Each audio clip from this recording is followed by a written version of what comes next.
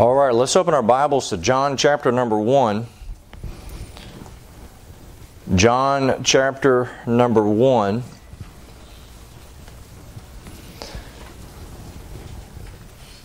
Like I said, it's hard for us sometimes to get our attention off of the panic and different things that are going on around us, but as believers, we need to turn our eyes upon Jesus Christ. And so I want to encourage you tonight as we look here in John chapter number 1 about some things about the Lord and how great God, God is and how great Jesus Christ is. So look here in John chapter number 1. Very familiar passage. We'll read just the first few verses and get right into the message. Verse number 1 In the beginning was the Word, and the Word was with God, and the Word was God. The same was in the beginning with God. All things were made by him, and without him was not anything made that was made. In him was life, and the life was the light of men. And the light shineth in darkness, and the darkness comprehendeth it not. There was a man sent from God whose name was John. The same came for a witness to bear witness of the light, that all men through him might believe.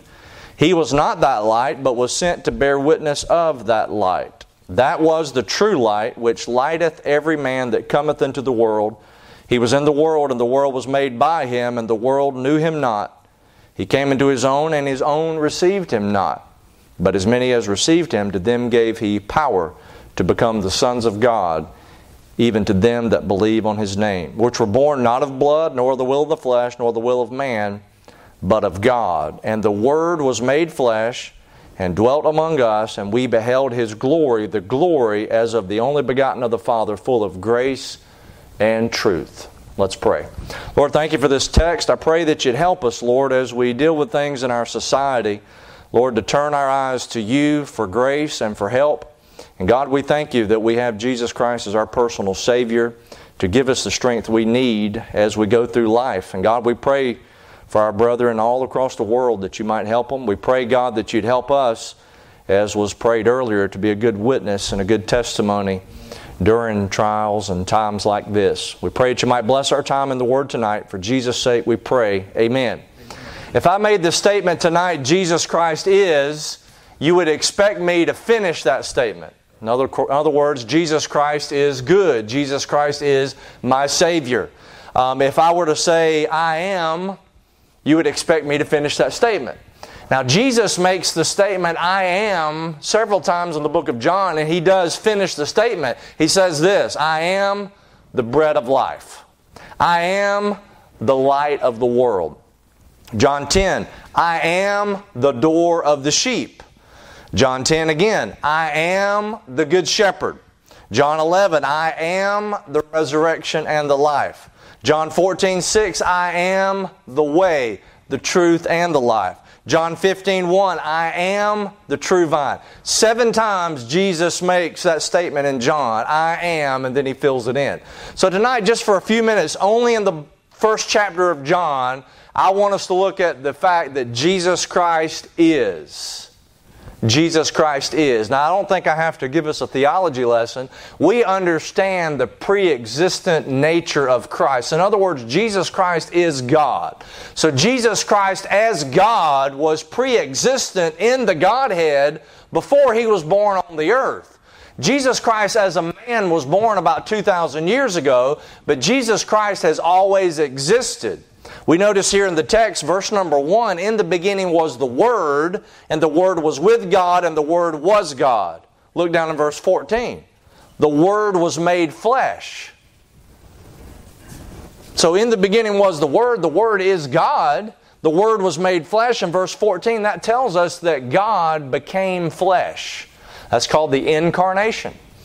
And so we understand this about Jesus Christ, but as a man, Jesus Christ is a man. He's 100% man, he's 100% God. He has to grow up, he has to learn, he has to learn how to read, he has to learn how to talk, he has to learn experiences, and he suffers. He's tempted with sin. He gets hungry, he gets thirsty, he gets tired. God can't get tired. God can't get hungry.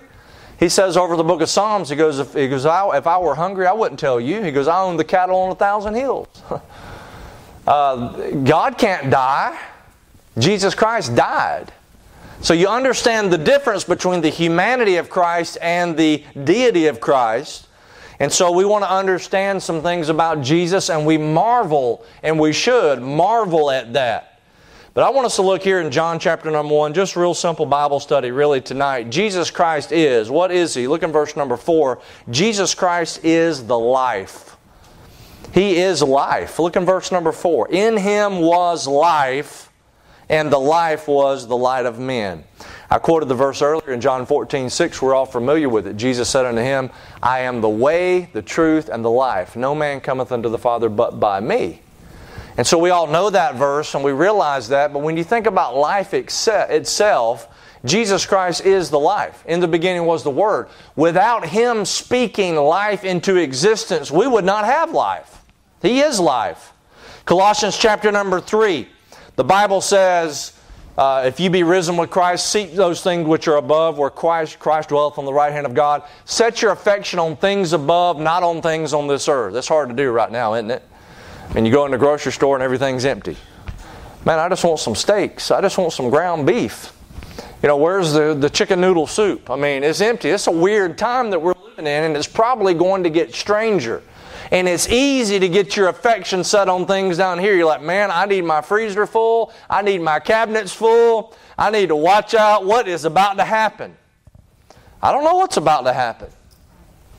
But really, as a Christian, my, my citizenship's in heaven, and I don't need to be so bogged down with this earth anyway. And so we need to keep the proper perspective. If we are heavenly minded, we will be earthly good because we'll have the right kind of balance and we'll have some sensibility about us. So when you think about that verse, he says, Set your affection on things above, not on things on the earth, for ye are dead and your life was hid with Christ in God. When Christ, who is our life, shall appear, then shall you also appear with him in glory. You catch that phrase? When Christ, who is our life. Our life is Jesus Christ. Now, I gave that quote uh, Sunday about from Corrie ten Boom, the lady that was persecuted during the um, the Nazi Holocaust, and they had harbored Jews, and so their family was taken, and she lost her sister at Ravensbrück and and uh, the, the concentration camps and all that. And she made the statement that Jesus Christ is the best thing there is. So if you lose everything else, you still have the best thing the most precious person and the most precious thing, if you want to, I'm not trying to be sacrilegious using that term, the most precious thing or him or object is Jesus Christ. You lose everything else, you still have the best thing. And so you want to keep that perspective. And so Jesus Christ is the life. Notice in verse number 3, He's the source of life. Psalm 100, verse number 3 says this Know ye that the Lord, He is God? It is He that hath made us, and not we ourselves. You did not make yourself. I'm a self made man. No, you're not. God created you. Well, my mom and daddy made me. Nope. God gave life, God created us. And so he has to make this statement. It's a perfect verse for nowadays because people just go through life not even realizing God created them. Psalm 100, verse 3 Know ye that the Lord, He is God. It is He that hath made us, and not we ourselves. And so when you look at this verse here in John 1, He's the source of our life. And then He's also the sustenance of our life. He sustains us. Colossians 1, verse 17, the Bible says, He is before all things, and before, before hell was, heaven was. Before the earth was, heaven was. Before the devil was, Jesus was. He's before all things. And He'll be here when all things are done. But He says this He is before all things, and by Him all things consist. It says over the book of Hebrews, He holds all things together by the word of His power. The physicists, they don't understand how these electrons and everything stay together because theoretically they should just all spin apart you know, you study in astronomy and the scientists think they have it all figured out. You know, this thing's spinning around this and this thing's spinning around this. They'll look at one thing, you have uh, the Earth will be spinning this way and one, another planet will be going in the opposite direction. Now, how come if everything is, is gravitational and it's all going around, the sun just spun everything out in this big cosmic mush that just evolved, how come it's not all spinning in the same direction? That doesn't make sense. The, when they study atoms, they call what they have what's called the gluon. They don't even know what it is. What holds the atoms together? I'll tell you what's holding it or who's holding it together. God's holding the stuff together. And He's holding it together by the word of His power. And when He says boo, it's going to it's to blow. And so you want to understand that He is the sustainer of life. And that's good for us to keep in perspective at this point. Um, look, I'm not telling you to be careless. I believe you ought to follow certain guidelines and you need to try to you know, do the things that the authorities are telling us to do to be safe. Obviously, that we've given recommendations to our church members, different things about staying away and that and, those kind of things. But you have to realize our life is in God's hands. There are places where doctors do everything they can do, and it's in God's hands. It's been in God's hands from the beginning. And so you have to realize the sustenance of our life is in His hands, and then the satisfaction of life is also in, in His hands. In other words, you are satisfied in life as a believer when you find that fulfillment of life in serving Jesus Christ. And you will not find fulfillment outside of Jesus Christ. That's why the most prosperous country in the world, America, and some of the other countries that are very prosperous have some of the highest suicide rates in the world. Pleasure and prosperity do not bring fulfillment. They bring an emptiness. There's an emptiness inside people because there's an empty spot where God's supposed to be. And when God is not in that empty spot, you try to fill it with all these things. There's, there's one good thing that's come out of this, this epidemic, this pandemic. You say, what's that? They shut down the bars. Amen. It's a sad day in America when it takes some pandemic to shut down the bars and get the people to quit drinking. That's a sad thing. Praise the Lord. At least they tell them, hey, you don't need to be getting, we don't need people off work going around getting drunk 24 hours a day. You know, going to the beaches and getting drunk and all this stuff. We could have told you that a long time ago. but you know, when you think about people trying to fill the void in their life with pleasure, and with money and with prosperity and with the next new gimmick that comes out, all these kind of things, it's a sad state of affairs. Only Jesus Christ fulfills the emptiness that you find in your life. Philippians 1:21 Paul said this, "For to me to live is Christ, and to die is gain." For to me to live is Christ. Somebody said this, Life, life's heaviest burden is having nothing to carry. God has all of us here for a purpose. And your job as a believer in Jesus Christ is number one, be a believer. Don't doubt Him. Believe Him. Have faith. Trust Him. But as a believer, that means God's got you here to touch somebody else's life. Be an example, to be a testimony, to be a witness. And God has a burden on you for a purpose. And you don't want to miss that. Jesus Christ is the life. Look in verse number 4 also. Jesus Christ is the light. He's the light of men. Notice also in verse number 9, that was the true light which lighteth every man that cometh into the world. You know, I believe men reject Christ, they reject light. It's like closing their eyes when the sun's real bright. There's light in the world for people to know there is a God. You have to be educated out of the natural belief that God created all of this. And He is the light. John chapter 9, verse 5, Jesus said, As long as I'm in the world, I am the light of the world. In John 8, He said this I am the light of the world. He that followeth me shall not walk in darkness, but shall have the light of life. Look over in chapter 3. I told you I'd stay in chapter 1, but I apologize. Look in chapter 3. Most of us are familiar with verse 16, but look later down from verse 16 and verse 19. John 3:19 This is the condemnation that light is come into the world and men love darkness rather than light because their deeds were evil.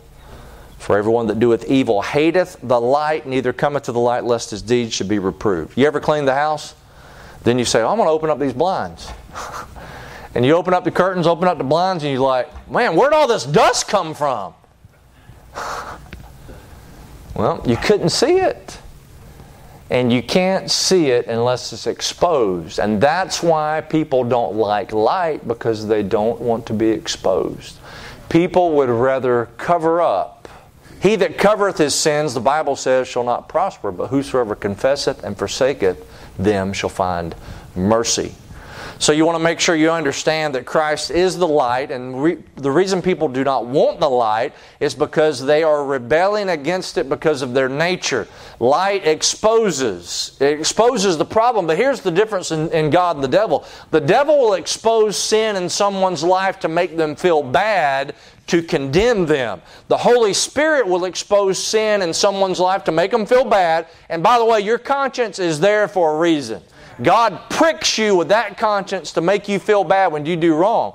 But He always does that to show you there's forgiveness. And you can come back to Christ and get help, and there's hope in Jesus Christ. That's the difference in God and the devil. The devil just condemns, Christ forgives. But that light, it exposes sin. And so, Jesus Christ is the light, the comprehension of darkness. You see that in verse number 5. The light shineth in darkness, the darkness comprehendeth it not. The darkness says, We don't want the truth. We don't want to hear the truth. Darkness says, You know, I, I just don't want to hear that. And it comes up with all kind of excuses. The Bible says, The fool hath said in his heart, There is no God. The Bible talks about a man in Proverbs 16. If you read your proverb of the day, it talks about a man seeketh and uh, he separateth himself. And he does that to seek and intermeddle with all wisdom. The fool hath no understanding and knowledge, but that his heart may discover itself. A fool says, I'm going to get around and I just want to discover myself and have philosophies of men and wisdom of men and, and shut God out because the problem is in the heart, it's not in the head. The darkness comprehendeth it not. The reason people can't intellectually understand the gospel is because they're not willing in their heart to admit that they've sinned. The darkness comprehendeth it not. But notice the comparison of the light of Jesus Christ with the dimness of someone like John, verses 6 through 8. They think John is the Messiah. You know the story. John's like, Look, I'm just the voice crying in the wilderness. And it says here in verse number 6 there was a man sent from God whose name was John. The same came for a witness to bear witness of the light. He was not that light, verse 8, but was sent to bear witness of the light. John is nothing compared to Jesus. Now, John's a great man. Jesus said, Of, of men born of women, there have not risen a greater than John the Baptist. I'm thinking, who, you know, how, what other way are men born, you know, of men born of women, okay? What he's saying is there's nobody greater than John the Baptist, and that's a great compliment, but John is nothing compared to Jesus. You ever think about these lights and how bright they are sometimes, and maybe you have the new LED lights, or they have some super bright uh, flashlights you can get now, which is really great. And uh, some of these new cars, these guys get these crazy lights, man, almost run you off the road. And you think about how bright they are, but if you get a bright sunny day and you take the brightest light man can come up with, it's nothing compared to the sun. You take the best man has, it's nothing compared to the glory of God. Nothing. And so Jesus Christ is the light. And that song we sang, Amazing Grace, I once was blind, but now I see, the idea of light flooding into the darkness. And we can take our mind's eye, we can go back to the creation. You know, God said in that darkness, He said, Let there be light. And there was light. You know, when you get saved, the Lord turns the light bulb on. And you begin to see things. You see yourself in a different perspective. You begin to see the Lord in the correct perspective. You even see others in the right perspective. Instead of being critical, now you're compassionate. Instead of being condemning, now you're caring. Because you begin to see through His eye, there's some light. And God gives you some light. The Bible says, The entrance of thy word giveth light, it giveth understanding unto the simple. And so Jesus Christ is the light of the world. Notice in verse number 29 as we move through. In the context of the chapter, of course, John has been preaching, and the Pharisees and other people said, Who are you? You're claiming to be the Messiah? He's like, No. Are you claiming to be Elijah? He's like, No, I'm just a voice crying in the wilderness. He's out there baptizing people, and then Jesus comes. You'll notice in verse number 28, John's baptized. In verse 29, the next day John seeth Jesus coming unto him and saith, Behold the Lamb of God which taketh away the sins of, sin of the world. Notice Jesus Christ is not only the light, He is the Lamb. He's the life, He's the light, He's the Lamb of God. Now, this concept goes all the way back to the Passover. Really, it goes back further than that. If you know your Bible, when Adam and Eve sinned, they hid from God. And the Bible says that God called unto Adam, says, Where art thou? And the Bible says that Adam uh, and his wife had made fig leaves to cover up. And God said, The fig leaves aren't going to do. So he took an animal and he covered them. But what he did is he covered them with skins. They tried to cover up in their own self righteousness. They went to the sewing factory of religion and they tried to cover up. And the Lord said, That ain't going to work. So he got a, a, lamb, and the first time blood was shed, God had to shed that blood in behalf of sinful man. That's where that thing goes back to. And then that thing begins to be passed on. That idea of a sacrificial animal is passed on from Adam to his son Abel. And Abel brings of the flocks, he brings a, a lamb. And he sacrifices that, and God has respect to Abel and to his offering. Cain brings a turnip, you know, and cuts it up and can't get blood out of it. and so religion does not bring you close to God, it takes a relationship through blood. And then that concept's carried over in the Passover lamb when Moses has the children of Israel in Egypt. And how are they going to break the, the stranglehold of Pharaoh and the chains of Egypt? It's by the power of the blood of the sacrific- sacrificial lamb. And he says, You need to go get a lamb, you need to get the lamb, and you need, need to get your lamb. That thing, as you read it in Exodus chapter 12, there's a progress there. And it's got to be personal, your lamb. And they're delivered out of Egypt by way of the sacrificial blood of the Lamb. And then all the Old Testament sacrifices speak of this. They can't take away sin. It takes the sinless blood of Jesus Christ as the Lamb of God. You'll notice the phrase. Notice in verse number 29 Behold the Lamb of God, look at it, which taketh away the sin of the world. When you compare that to Hebrews, you see the difference. In Hebrews, the Bible says it's impossible that the blood of bulls and goats should take away sin. In other words, sins were forgiven in the Old Testament because of those animal sacrifices. God told them, You need to do this and I'll forgive you, but their sins weren't taken away.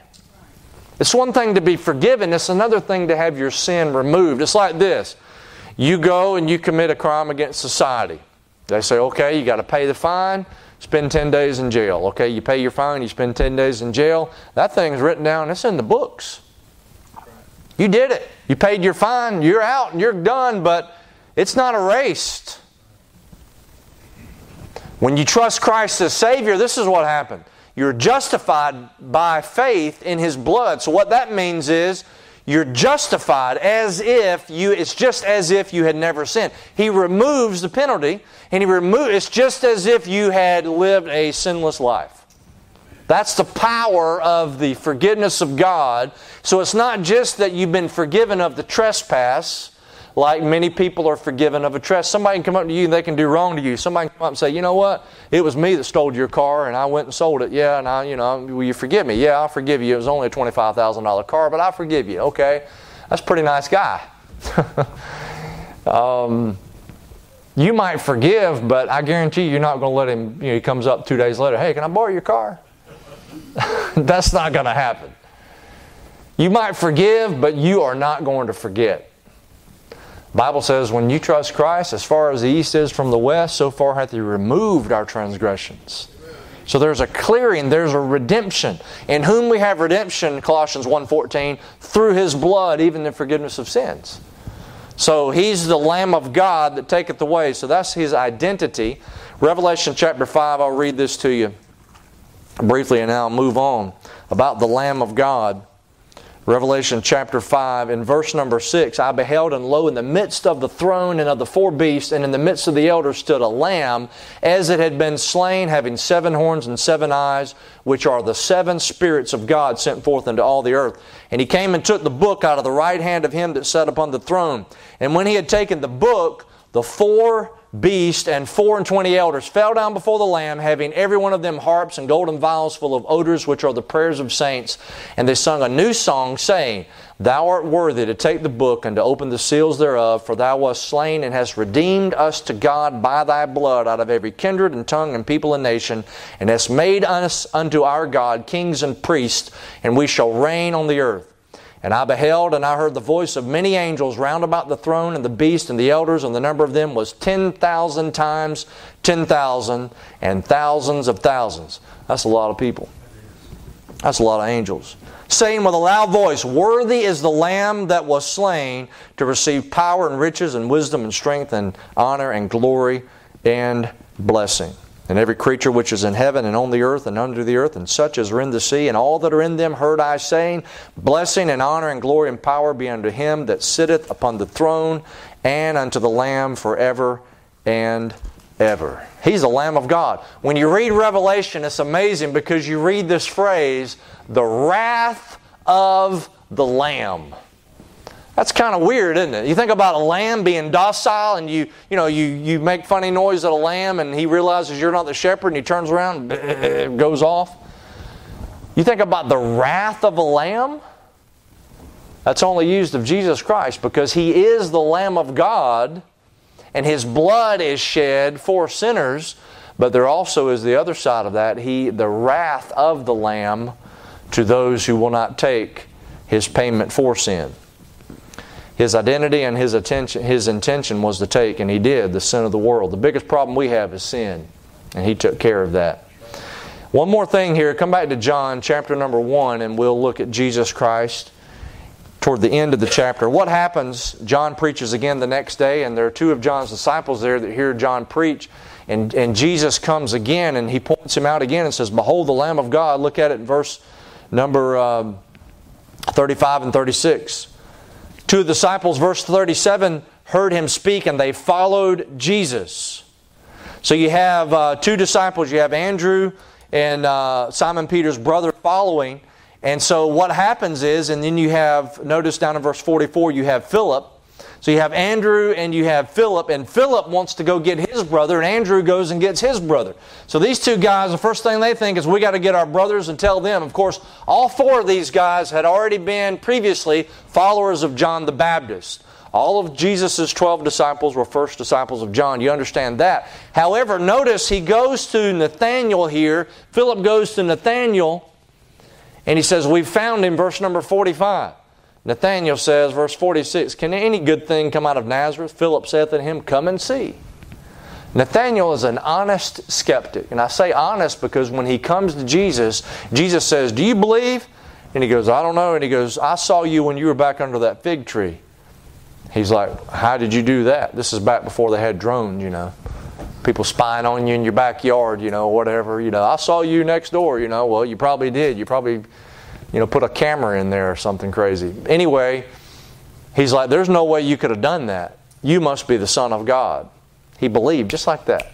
If someone's an honest skeptic, when God gives them reasonable proof, I mean, the Lord is not an unreasonable God. He says, Come now, Isaiah 118, come now, let us reason together, saith the Lord. And he says over in Acts chapter number 1, when he rose again from the dead, there are many infallible proofs. He appeared to 500 people at one time. He rose again from the dead. That's a historical event.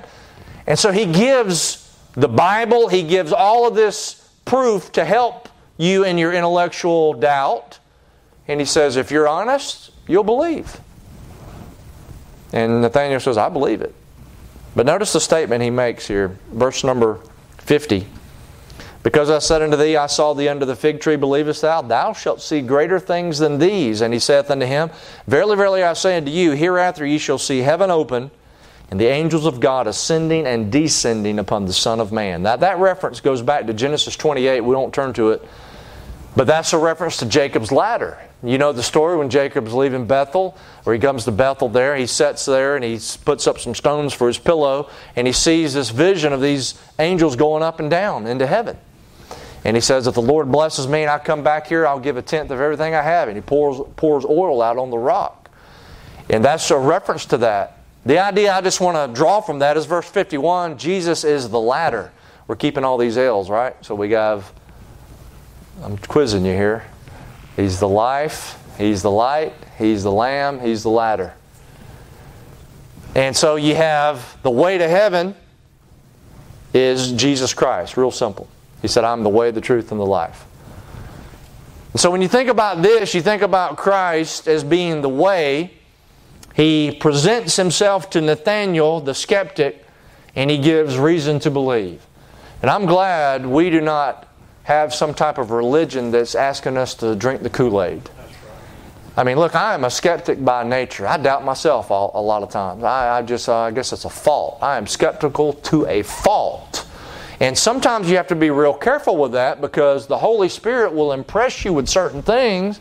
Then you say, Is that the Lord or is that me? Is that the Lord or is that the devil? And then you start going back and forth. Here's a good thing if it doesn't contradict the Bible, why don't you step out by faith and just be obedient? Now, if it's contradicting the Bible, you better listen to check out what voice you're listening to.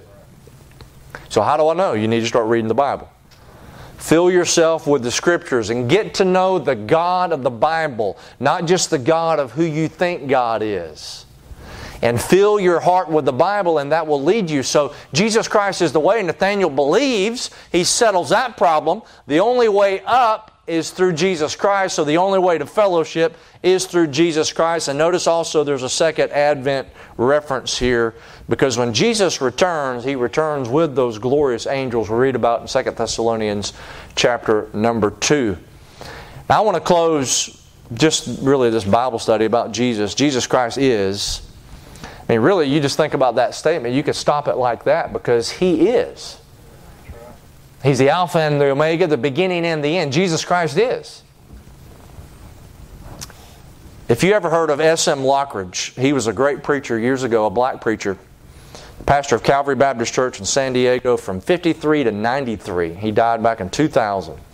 I think SM, I don't know if it was true. I heard him. I heard a, a tape of him preaching. He said that, that stood for Shadrach, Meshach, and I don't know if it really, if it really did or not. I don't know if I just always see SM Lockridge.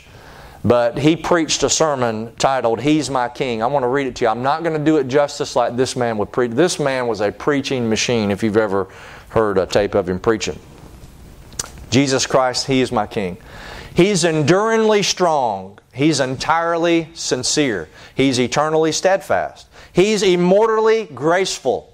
He's imperially powerful. He's impartially merciful. He's God's Son. He's a sinner's Savior. He's a centerpiece of civilization. He stands alone in Himself. He's unparalleled. He's unprecedented. He's supreme. He's preeminent. He's the loftiest idea in literature. He's the highest idea in philosophy. He's the fundamental truth in theology. He's the miracle of the age. He's the only one able to supply all of our needs simultaneously. He supplies strength for the weak. He's available for the tempted and the tried. He sympathizes and he saves. He guards and he guides. He heals the sick. He cleanses the lepers. He forgives sinners. He discharges debtors. He delivers captives. He defends the feeble. He blesses the young. He serves the unfortunate. He regards the aged. He rewards the diligent. He beautifies the meek. Do you know him? Well, my king is the king of knowledge. He's the wellspring of wisdom. He's the doorway of deliverance. He's the pathway of peace. He's the roadway of righteousness. He's the highway of holiness. He's the gateway of glory. He's the master of the mighty. He's the captain of the conquerors. He's the head of the heroes. He's the leader of the legislators. He's the overseer of the overcomers. He's the governor of governors. He's the prince of princes. He's the king of kings and lord of lords. His life is matchless. His goodness is limitless. His mercy is everlasting. His love never changes. His word is enough. His grace is sufficient. His reign is righteous. His yoke is easy and his burden is light. Well, I wish I could describe him to you, but he's indescribable. Yes, he's incomprehensible. He's invincible. He's irresistible. I'm trying to tell you the heavens cannot contain him, let alone a man explain him. You can't get him out of your mind. You can't get him off your hands. You can't outlive him, and you can't live without him. Well, the Pharisees couldn't stand him, but they found out they couldn't stop him. Pilate couldn't find any fault in him. Herod couldn't kill him. Death couldn't handle him, and the grave couldn't hold him. That's my king. He's always been, and he always will be. I'm talking about he who had no predecessor and he who has no successor. There was nobody before him and there will be nobody after him. You can't impeach him and he's not going to resign. we'll try to get prestige and honor and glory to ourselves, but the glory is all his. Thine is the kingdom and the power and the glory forever and ever and ever and ever. How long is that? And ever and ever and ever and ever. And when you get through with all the forevers, then amen. Oh, I wish I could describe him to you. He is the King of Kings and Lord of Lords. Who is Jesus Christ? Jesus Christ is. I'm glad He's my Savior. And in the midst of the panic, in the midst of the pandemonium, we have to realize He is our peace. If you have Jesus Christ, that's all you need. So let's be in prayer. And let's also make sure we stay focused on our Savior, Jesus Christ, as we go through times like these. Amen? Amen. Amen. Let's pray. Lord, thank you for the Scriptures. Lord, just a small Bible study, but some